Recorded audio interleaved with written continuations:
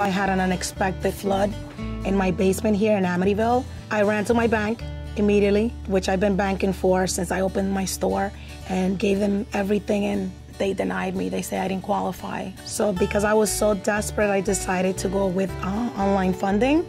You know, we get at least 10 to 15 phone calls a day here. So I decided to speak to one of them. And sure enough, within 24 hours, I had money in my bank account. Little did I know that it came with a huge interest rate, which did a lot of damage to my business.